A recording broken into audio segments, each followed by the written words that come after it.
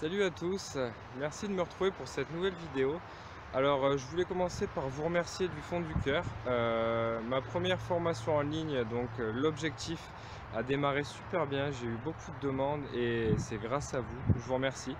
j'ai voulu démarrer par vraiment l'essentiel, donc l'objectif c'est la base de tout, c'est là que tout démarre et même tout thérapeute, tout accompagnant doit démarrer en cernant un objectif de la sorte avec la personne qui l'accompagne avec son sujet.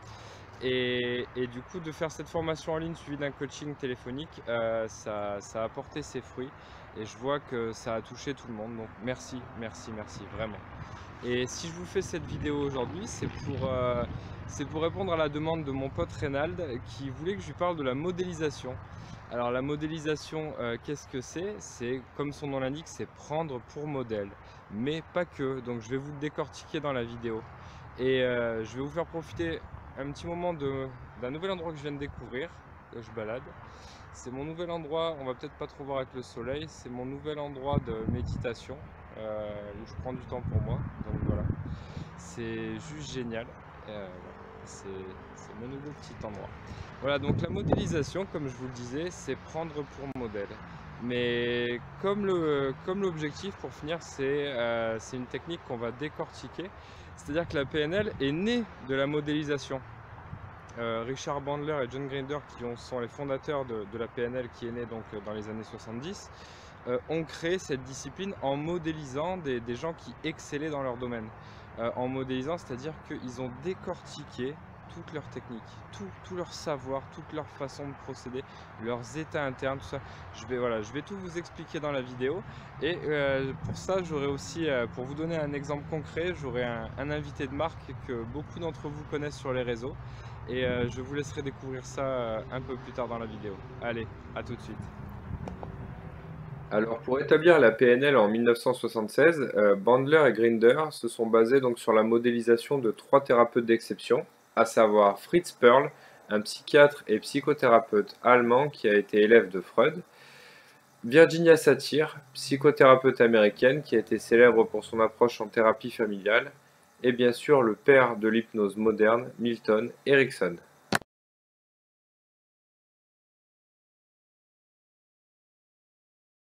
Et donc, comme je vous le disais, j'avais un invité de marque euh, pour euh, parler de modélisation.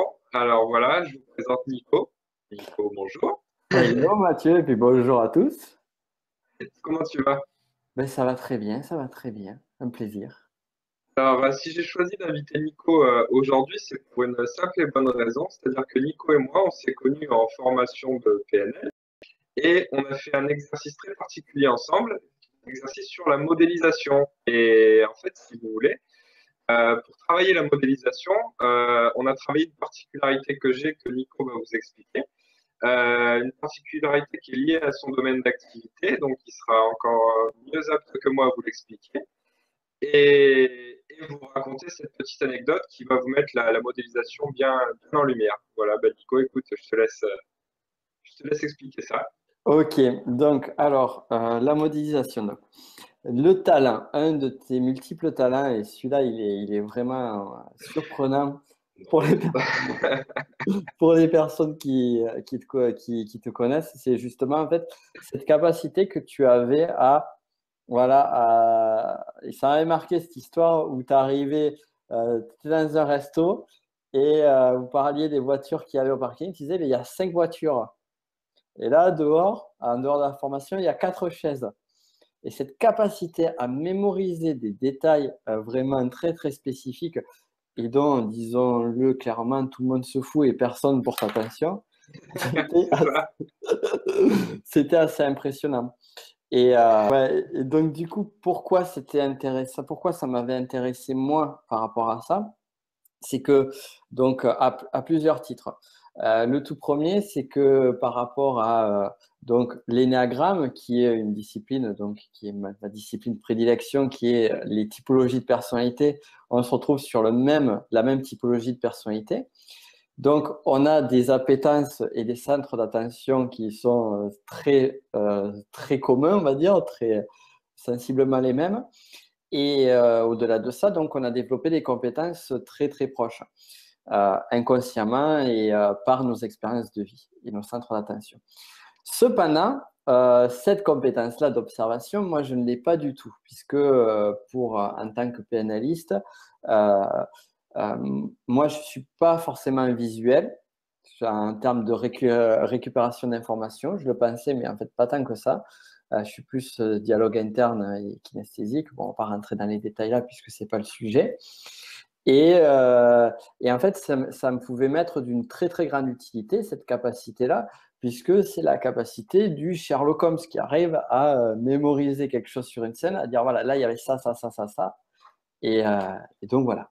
Donc ça, c'était la ligne, le, commencement, l'intérêt qui était mon intérêt personnel et qui finalement était un intérêt collectif, puisqu'il y avait plein de personnes qui voulaient euh, accéder, sortir de ton cerveau cette, cette technique. C'est vrai que j'avais été la, bête de pour le coup, c'était assez, assez drôle. c'est clair. C'était génial. Donc, euh, bah, je te laisse faire une parenthèse sur l'Instagram pour les gens qui ne connaissent pas, du coup. Je pense que ça va les intéresser. On parle que des 6, c'est pas grave. Voilà, voilà exactement. Mais justement, donc, donc l'énagramme, en fait, c'est une, une, une, méthodologie qui est, pour moi, qui est très euh, complémentaire à la PNL qui est un outil qui permet de découvrir les, différents profils de personnalité. Alors bien souvent on dit profil de personnalité, on va rentrer dans des cases et compagnie. moi je dis toujours l'énéagramme n'enferme pas dans des cases, il en libère. L'idée, c'est que, et ça c'est vraiment très très fort, et là où c'est très fort, c'est que euh, il y a différents outils de typologie de personnalité, il y a les outils à la femme actuelle. C'est-à-dire, vous répondez à un questionnaire et à la fin du questionnaire, on dit ben toi, tu es monsieur bavard, toi, tu es madame drôle, et ainsi de suite. L'énagramme, ça ne fonctionne pas du tout comme ça. C'est-à-dire qu'un comportement n'est pas symptomatique d'un type de personnalité. Nous, on va chercher en profondeur, voir quel est le mécanisme inconscient et les centres d'attention qui amènent ce, ces différents comportements. Et ce qu'on peut se rendre compte, c'est que si on répertoriait les 7 milliards d'individus sur Terre, on pourrait les regrouper sur 9 grands groupes distincts qui ont des centres d'attention et des besoins euh, profonds et euh, ancrés depuis la plus tendre enfance qui sont vraiment bien spécifiques. Donc, c'est ça qu'on va, qu'on va identifier avec les néagrammes. Et donc, du coup, c'est des choses qu'on garde depuis l'enfance. Et comme on les garde depuis l'enfance, eh bien, on va développer des compétences, mais on va développer aussi des compulsions, des difficultés. Et souvent, il y a des problématiques qu'on a dans la vie adulte, qu'on a traîné, des bagages qu'on a traînés, dont on n'a même pas conscience et qui sont révélés avec l'énéagramme. Donc, ça va, ça va être ça l'outil le, l'outil énéagramme. Alors, moi, ce que j'aime bien dire aussi, c'est que je suis, euh, je pense, le seul enseignant euh, d'énéagramme en France à dire l'énéagramme en tant que tel, ça ne sert à rien. Pourquoi? Je vais m'expliquer pourquoi. Parce que tout simplement, l'énéagramme, et c'est justement là où, mon approche euh, peut être assez différente de, ce qui peut se faire, c'est que l'énéagramme, c'est une grille de lecture. Ça permet d'identifier comment on fonctionne. Mais après, ça va pas nous expliquer comment on va changer. C'est là justement avec différents outils que sont la PNL, euh, des, méthodologies de coaching, des techniques de psychologie du changement, d'influence sociale, tous ces outils-là qui vont permettre de, euh, de savoir qu'est-ce qu'on va faire quand on découvre son profil Instagram et comment évoluer et, dépasser certains blocages qu'on traîne depuis euh, la putain de enfance. C'était peut-être un peu long, mais... Non, quand tu es sur Instagram, je pense que, que, les gens, tu as dû éveiller des curiosités. De toute façon, je mettrai dans la barre de description des liens pour que les gens puissent voir euh, ce que tu fais et te suivre. Et, et, donc, personnellement, là, du coup, à, t'écouter, c'est me faire ce, ce petit rappel du coup, je me suis dit, quelque part, mine de rien, c'est plutôt chouette parce que la modélisation et les néagrammes, tu vois, ça fait même un truc à creuser parce que par profil de personnalité, il se pourrait bien qu'il y ait des pistes à, exploiter. Ça peut, être, euh, ça peut être intéressant. Et, dans l'anecdote en fait sur laquelle, euh, sur laquelle on s'est découvert un petit peu tous les deux, euh, c'est vrai que du coup, la modélisation, qu'est-ce que c'est? Comme je disais dans, dans l'intro de la vidéo, c'est pour modèle, oui, mais pas que. Et en fait, c'est vraiment rentrer dans le mécanisme euh, de fonctionnement le faire sortir et, vraiment le, le, décortiquer de fond en comble. Donc, si tu veux même euh, raconter comment, comment on s'y est pris, je pense que ça a vraiment été un grand moment. Quoi. Ouais, ouais. Déjà, c'était un grand moment, il faut le dire. Parce qu'on a quand même eu un moment de kiff assez exceptionnel. c'était, euh, euh, ouais, moi, je pense qu'on peut dire comme de gosse, quoi. Oui, oui, on peut le dire. Ça qui est génial. Parce que oui, il faut le dire, ceux qui te suivent devraient le savoir, la PNL, c'est. Enfin, quelque chose de sérieux, de profond, mais on peut le faire euh, avec énormément de plaisir et un kiff. complètement. Il, vaut mieux le faire d'ailleurs comme ça, ça passe beaucoup mieux.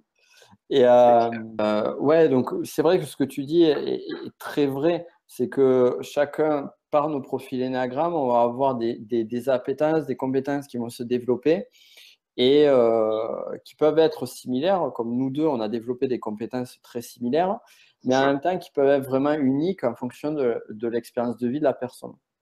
Et moi, ce que j'adore sur la modélisation, c'est que finalement, on va récupérer les compétences de la personne sans forcément être un singe, singer la personne et se traverser, se dans, dans, sa personnalité. Donc, c'est ça qui est génial hein, sur la modélisation. Alors, nous, comment on avait fait, c'était génial parce qu'en fait, la, le premier step, il y, a différentes façons de modéliser, il y en a des milliers. Euh, J'en avais pas conscience, moi, de ce que je faisais, c'est sûr, donc il y a eu beaucoup de pratique. C'est ça qui est génial. Ben ouais, Et je vais revenir sur ce mot-là dont tu, tu parlais de ne pas avoir conscience. C'est que généralement, c'est ça, c'est arrivé. Donc, euh, quelqu'un fait quelque chose et il le fait de façon exceptionnelle, comme dirait Bandler par exemple, enfin, comme c'était le cas de Bandler.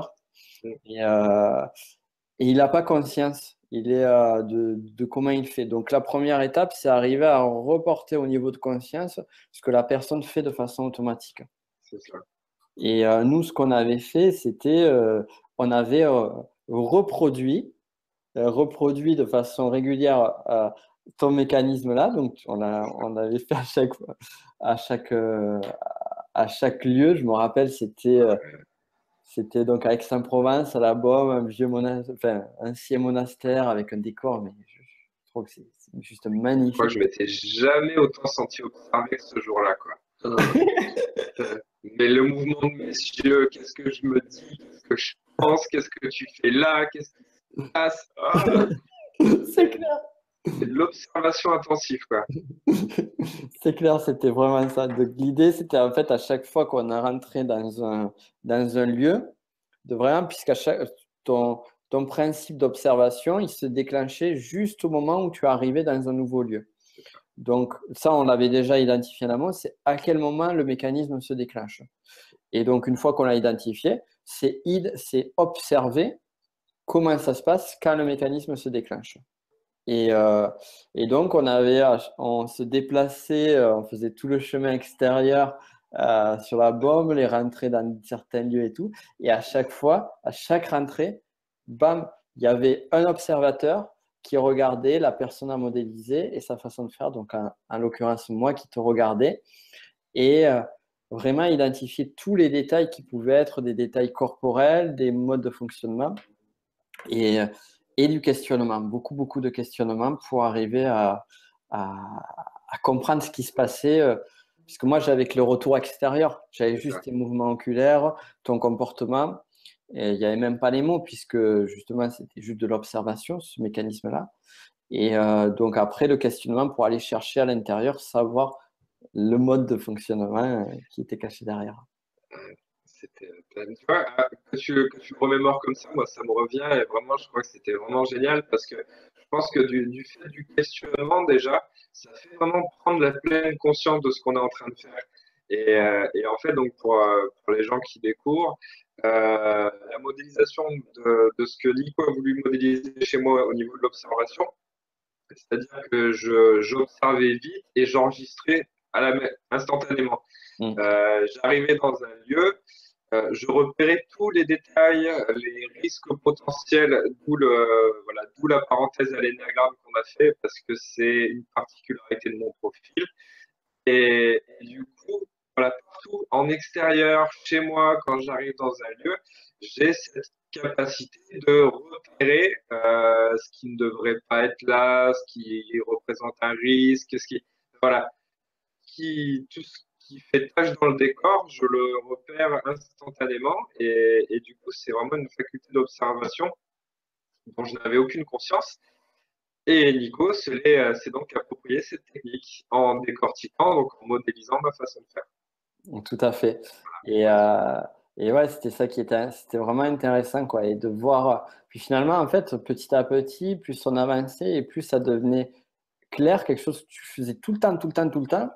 Et euh, du coup, euh, c'est un peu comme, moi j'aime, ouais, je trouve que c'est un bon parallèle, ça. C'est des personnes qui se, qui, voilà, donc on parle de façon régulière. Et puis un jour, tu t'enregistres en train de parler et puis on a tous eu ce truc-là la première fois qu'on s'enregistre en train de parler. Bon, c'est pas forcément une, métaphore positive. On se dit, mais c'est ça ma voix, mais je parle pas comme ça, je voix c'est vrai, ouais. c'est vrai. Et euh, pour moi, c'est un peu, en fait, on est en train de. Euh, en fait, on est toujours dans ce mécanisme-là, on ne s'en rend pas compte. Et puis là, on a un retour extérieur où on va se voir en train de, ben, par exemple, on va se faire filmer et on va identifier des postures, des gestes que l'on fait de façon régulière et dont on n'a pas conscience. Et la modélisation, c'est ça, c'est arriver à porter la lumière sur ces choses, euh, ces mécanismes inconscients. Et pour, les personnes vraiment qui sont en quête d'apprendre un savoir de quelqu'un d'autre, de décortiquer une technique, de pouvoir se l'approprier, se l'accaparer, Vraiment, je ne sais pas ce que tu en penses, mais moi, je leur dirais simplement que la modélisation, ça passe par deux grosses étapes. Alors oui, il y a l'observation des signes mm. extérieurs, mais ça passe par le questionnement, parce que vous ne savez pas dans quel état interne est la personne, euh, quelles croyances euh, limitantes elle peut avoir, quelles croyances aidantes elle peut avoir aussi, pour euh, aller vers la réalisation de, de, ce que vous souhaitez modéliser. Donc, il faut vraiment décortiquer les, les états internes de la personne. Quoi. Complètement. Et vraiment, moi, je me rappelle sur ta façon de fonctionner. Donc, d'un point de vue extérieur, on a identifié. Euh, donc, je ne sais pas si on a le droit de révéler la, la stratégie. Je t'en prie, je t'en prie. ouais, c'est moi qui suis euh, passionné de Sherlock Holmes. Là, on retrouvait vraiment cette, cette compétence de, sur la partie d'observation de Sherlock Holmes. Et moi, c'est ça que vraiment je venais chercher chez toi au mmh, travers de cette modélisation. Et euh, ce qui fait encore plus sens sur l'énéagramme, justement, sur la détection d'un type énéagramme ou ce genre de choses-là, que, qui, qui, voilà, qui, qui, apporte plus de, plus de finesse. Euh, et donc, ouais, ce que je voulais dire, oui, par rapport au questionnement, pour en revenir à ça, euh, le truc qui est intéressant, c'est que, en fait, d'un point de vue extérieur, on arrive à voir que ton mouvement oculaire, donc, il a, tu balayais deux fois une pièce. Donc, c'est ça qui, qui, permettait d'ancrer de façon mémorielle plus forte ce que tu voyais, puisque tu faisais deux, deux balayages et dans le même sens. Mais l'autre truc que l'on pouvait. Tu t'en rappelais? Ah ouais? Je me rappelle plus. ouais, ouais. C'est vrai en plus. Et euh, donc, ça, c'était le point fort. Mais l'autre point fort que je me rappelle en termes de questionnement, et là, on en vient justement à ton type énagramme, c'est l'objectif que tu avais derrière. Et ça, l'objectif, personne ne pouvait le voir. C'était, voilà, tu identifiais, je me rappelle, j'identifie les risques et sur le second balayage, je vais porter mon attention tout particulièrement sur les points de risque. C'est ça. ça, impossible à savoir. C'est impossible à savoir si on ne va pas chercher dans le cerveau de la personne. Et puis l'énagramme, il ressort là, là, là tu, le profil, tu l'as direct. Hein, là, ah. qui cherche, euh, il cherche, il a trouvé. C'est jackpot. C'est clair. Et tu sais qu'on n'a pas eu l'occasion d'en reparler, mais euh, en évoluant sur mon profil, euh, j'y ai repensé il y a quelques jours en pensant qu'on allait faire cette vidéo. Et je me suis dit tiens où j'en suis? Et, j'ai refait attention à, ma façon de procéder vis-à-vis de cette technique. Mm-hmm. et j'ai dit merde mais ça a évolué ça aussi. Alors ah, je, le fais toujours parce que oui ça fait partie de moi de toute façon mais plus pour les mêmes motivations pour euh, toutes les raisons toute la motivation de soi a changé en fait et euh, ce, qui, ce qui fait que je, comment dire, je vois plus, euh, tu vois, je vois beaucoup plus large. C'est-à-dire que oui, ça va toujours se produire au moment où j'arrive dans un nouveau décor, on va dire, ou avec de nouvelles personnes. Mais je vais prendre la vue d'ensemble. Donc, c'est vraiment les gens et le lieu, quoi. Hmm. Donc, euh, et en faisant jouer le ressenti, etc., etc. Donc, en évoluant sur le profil, ça a vraiment pris de l'ampleur aussi. Quoi. ah putain, intéressant, c'est génial. Plutôt cool. plutôt cool comme truc. je suis content. C'est des belles, des, des, beaux constats d'évolution, c'est génial. Ah, super. Super. Et euh, ouais, il y a le dernier step aussi qu'on avait euh, qui, euh, qui a précisé, c'est que nous, on avait donc les, les, deux outils qu'on a utilisés, c'est on visualise de façon extérieure, enfin, on, on observe comment fonctionne la personne. Et quand j'ai observé, c'est vrai que je le dis de façon visuelle, mais parce que là, c'était le cas, mais ça pourrait être de façon auditive. vraiment comprendre, observer ce qui se passe avec ces cinq sens. Donc ça, c'est le premier point. Donc je vois que la personne elle balaye deux fois du regard. OK. Qu'elle met un temps de pause 20. OK. Et après, donc le questionnement qui permet de savoir qu'est-ce qui se passe en tâche de fond. Et donc ça, c'est la modélisation. Et puis après, le test, c'est valider le modèle. Est-ce OK, ça marche pour toi? Est-ce que ça marche pour toi? Et... J'ai oublié ça. Et donc, euh, il fallait que Bibi fasse le cobaye pour voir si ça marchait effectivement. Et donc, euh, euh, ça, c'est une étape qui est importante, c'est que on va dire, voilà, est-ce que le modèle, et c'est ça que j'adore en modélisation, est-ce que le modèle est réplicable pour d'autres personnes? Et, c'est là qu'en fait, on fait le test. Quoi. On teste si le modèle, s'il n'est pas réplicable, c'est qu'il est trop complexe, il faut enlever ou modifier des choses et là, vraiment, on avait réussi à synthétiser juste mmh. ce qui était nécessaire et juste ce qui était nécessaire. Et c'était nickel. C'était génial. Tu, tu fais bien de le, mentionner, cette partie-là, parce que du coup, c'est ce qui rend vraiment la, technique applicable à d'autres. Et sinon, bah, voilà, tout le travail de modélisation, voilà, si c'est pas OK, si on n'arrive synthétiser, bon, on reprend, quoi. On reprend et on fait plus simple. Mais ouais, c'est, tu vois, de, de raviver tout ça, c'est marrant parce que je, je, revois tout le monde dans la pièce au moment d'expliquer en public euh, la technique. Je revois tout le monde droit sur la chaise et puis essayer à, balayer, à balayer euh, la pièce, tu sais. Oui, c'est vrai. Euh, ça me revient, c'était vraiment super drôle, quoi. C'est super drôle. C'est très intéressant. Mais j'y repense, ouais, à, à la modélisation. Malheureusement, je ne l'ai pas mise en application suffisamment, là, vu que je reviens beaucoup sur la partie, justement, sur la stratégie Sherlock Holmes euh, depuis quelques temps. J'y reviens beaucoup plus, je, recommence à le faire. Mais c'est vrai que après, voilà, donc on en vient à la, dernière partie qui, qui est celle de, euh, disons-le clairement, de 90% des échecs, c'est euh, la répétition. C'est que bon voilà quoi, c'est bien joli d'avoir modélisé quelque chose et de l'avoir pris. Si après on le répète pas et on le travaille pas jusqu'à l'assimiler, ça. ça sert à rien quoi. On rejoint ce, enfin, je pense que tu me rejoindras. On, rejoint un principe fondamental de toute façon dans tout ce qui est développement personnel, c'est-à-dire que j'ai, enfin, eu affaire à des personnes qui euh, qui viennent nous voir comme si c'était euh, de la magie. Et les personnes, si à la maison elles ne l'appliquent pas, si elles ne travaillent pas, si elles ne répètent pas ce qu'elles ont intégré, ça sert à rien, quoi. Complètement, complètement. Ça sert à rien.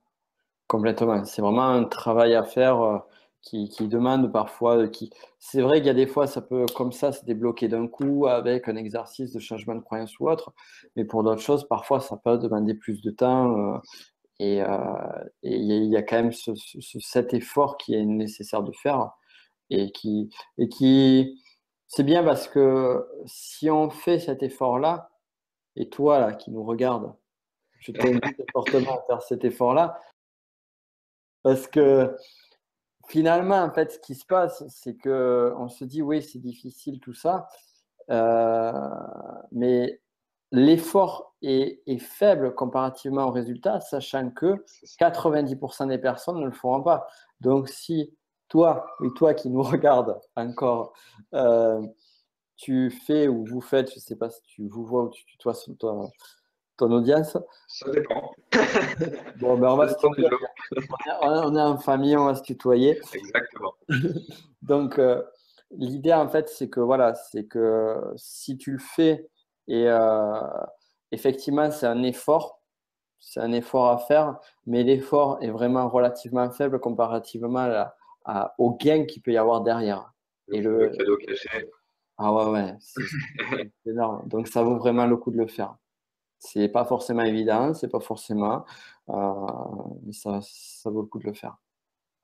Le, le cerveau est, est bien fait. Hein. je veux dire, il a fonctionné de la même manière pendant des années.